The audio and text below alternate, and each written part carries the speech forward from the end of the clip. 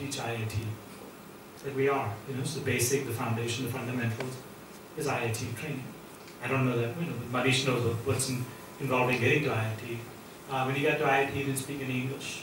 You get through IIT without speaking English. So we're like, we use those examples, we're training parents. So I think um, it's an uphill battle and, and regulations aren't any easier to raise capital and to invest in schools and it's pretty convoluted. Um, I think if they open it up to private sector, there are a lot of good people who want to get in but are scared. We spend a lot of time on just sort of the regulatory issues and they're unnecessary. In terms of economics, um, schools are making a lot, can make a lot of money. We're not.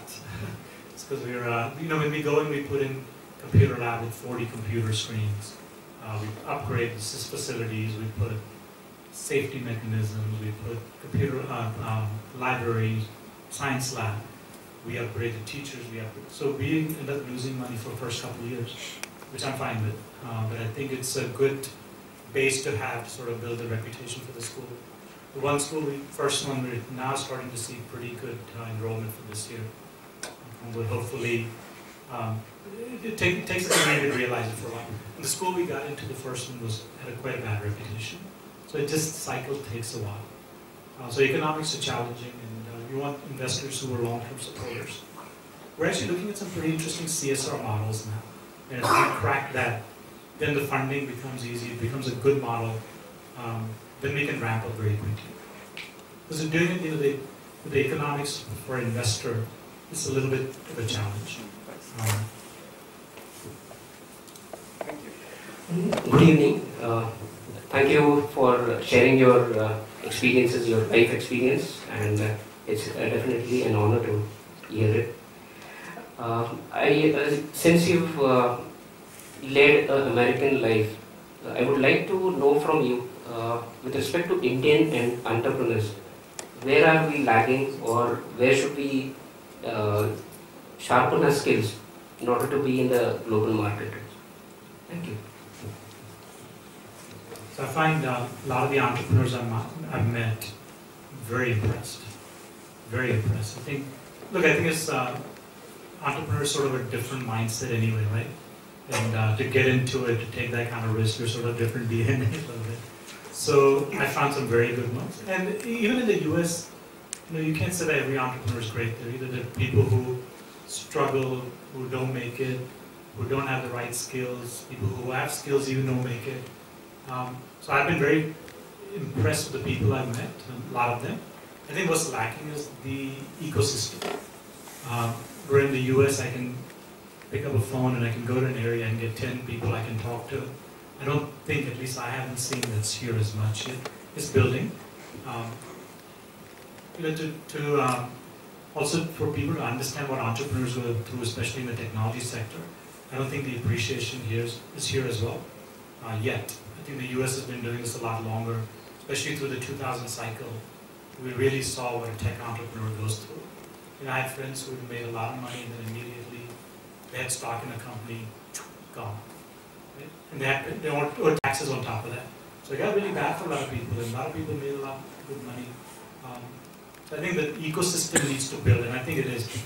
What TiE is doing with 700 people at uh, TiECon here, I was in Ahmedabad TiECon, they had 700, 800 people the excitement is here, and I think this is exactly the, sort of a, a, platform we need to start promoting entrepreneurship. And it's not a bad thing. I think now also parents are appreciating that. You know, they've heard some success stories like TK, you know, go and do it now. So hopefully that helps.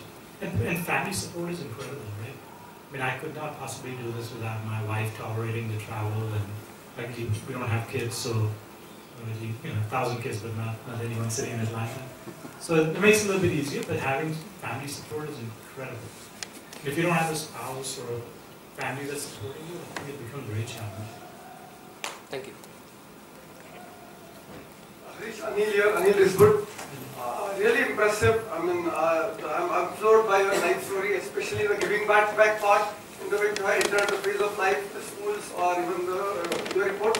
But you know, about the schools and writing down, how are your schools with a different culture fitting in the Indian system of things? I mean, education system looks like a square peg in a round. I mean, the, the system which uh, kind of celebrates meritocracy on one hand, but demeans failure. If a child fails in one subject in one class, he has to repeat a year and things like that. How, how does it work out? Very good question. In fact, I've been struggling with that one point. So we had a um, 10th grader, she failed Telugu. We held her back. And I'm like, you know, she's made, she's in Hyderabad, she's made it through 10th grade. And unless she's going to go teach PhD, go teach Telugu and get a PhD in Telugu, it's irrelevant at this point. We don't need to hold her back for this. Same thing, I mean, you know, if you ask me, how many of us have used the subjects we learned in school, right? It's completely unnecessary. I think what we need, what I'm really actually um, starting to do some um, sort of um, brainstorming around with the team is, how do we get these kids to find what their passion is, what their interest is? Automa- automatically find it, right? I didn't do well through school, but when I got into college, um, I was started enjoying accounting for all, you know, the subjects, right? How boring. But I started enjoying it, and I got into it, and I you know, thrived in it, right? So I think just finding the right path is very critical. And you're absolutely right. Uh, the sub- so we have to teach everything. We're sort of bound by these uh, um, restrictions, but we are trying. And in terms of the culture, so I, I sat in a fifth grade one day, and I raised my hand and said, "I don't understand that." Kids started laughing, you know. And I said, "Do you anyone of you know?" it?" One girl said, "Yeah." I said, "Go explain it to me." And now the kids actually ask questions. So we want them to be able to ask those questions. We have we have these uh, digital classes. It's out of control. Kids are screaming answers, and the, you know, initially there's like, you can't, there's control. I said, this is, I'd rather have this than a kid sitting like this, right? So we, th- th- those kind of changes we're making, and trust me, those kids love it. You know, they, um, they like it when we, they come give us high five, shake our hand, welcome back, sir. How are you? That's more important than sort of having him sit in the class, being him or her being bored in the school. So we'll have one last question Yeah. Uh, how do you plan to measure your success on your report? I mean, what is the objective and how do you measure the success? First, first success would be starting in a city. Um, so I think, um, look, I think we'll start seeing changes pretty quickly in these, right? And hopefully, in terms of, um, it'll be attitude change. I mean, if you can start seeing that, I don't know if we'll, we'll be able to sort of have an immediate impact, uh, but I think it'll take us some time, and through the education, um, we'll need to develop it. Again, I think even building it out will still take us a little bit of time. So I'm quite honestly, I don't have a um, full rate of success. For me, first step is to get in. Uh, in fact, when we were trying to do a pilot in Pune, they were asking. I said, I don't know the answers.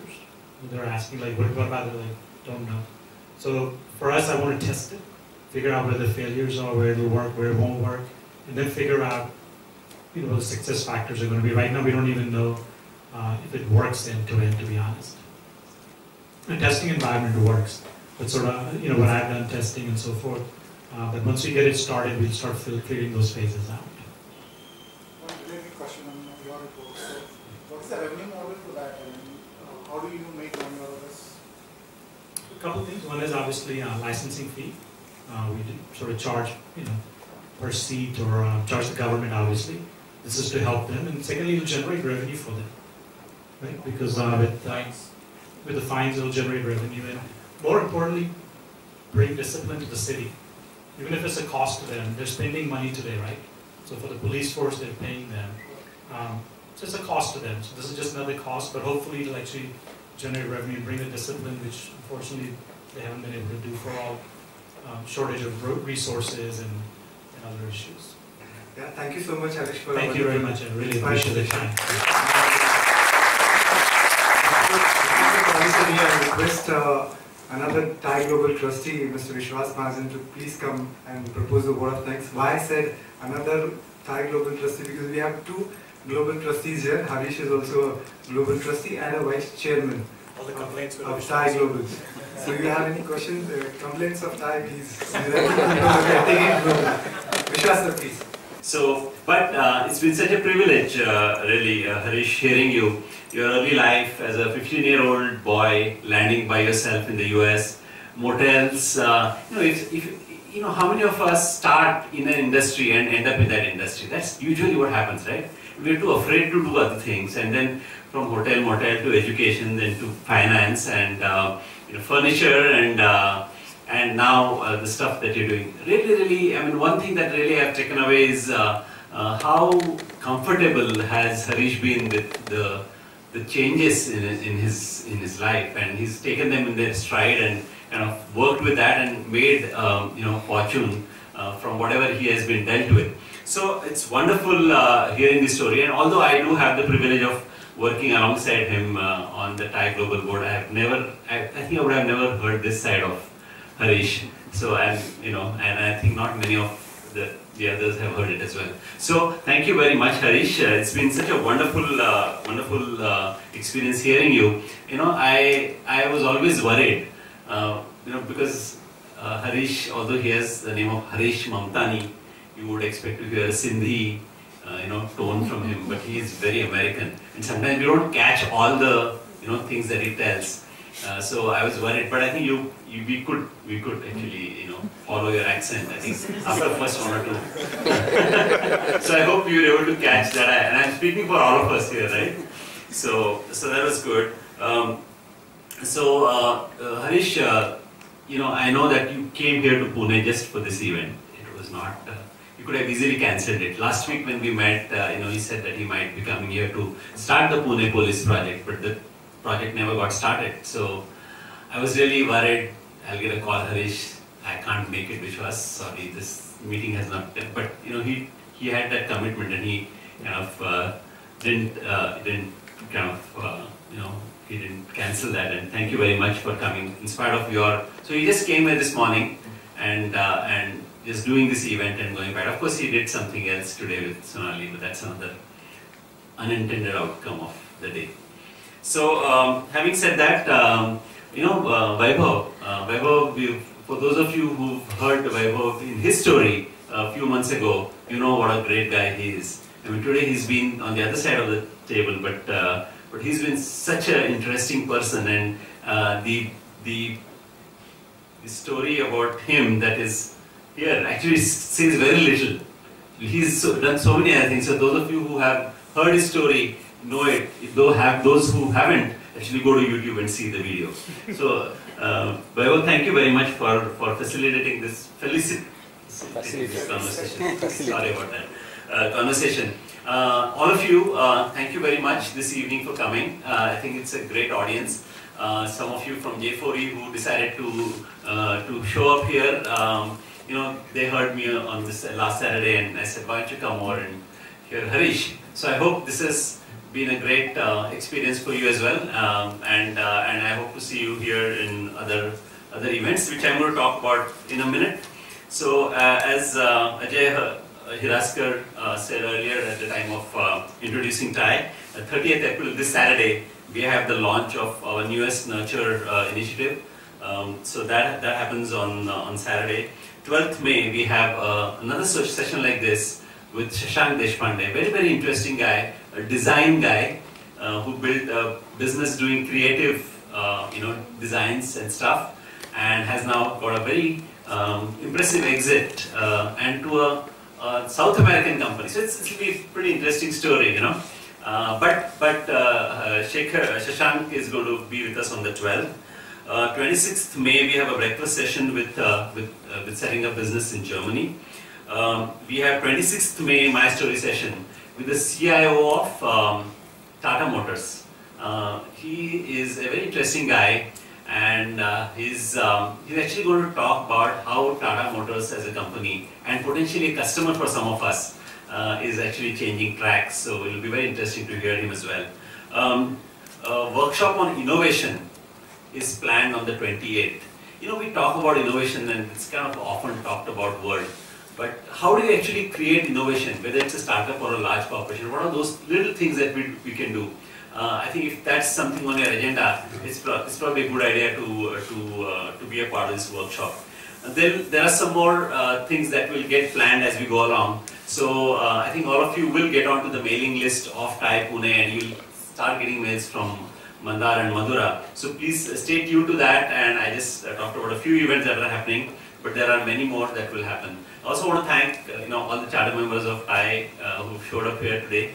Uh, Ajay, who's been kind enough to do an introduction to this event, and uh, finally, as I said, you know, let TiE happen to you. For those of you who haven't, who are not TiE members as yet, and who are not wearing a, a badge like this with, a, with written in a black pen, uh, and something on a red pen, you should consider uh, yourself being written in a black pen next time by being a member. Thank you very much, and I hope you enjoyed the evening uh, networking before the before the session as well. That's what we do, uh, networking over chai, and uh, and then a beautiful session like this. Thank you very much, all of you.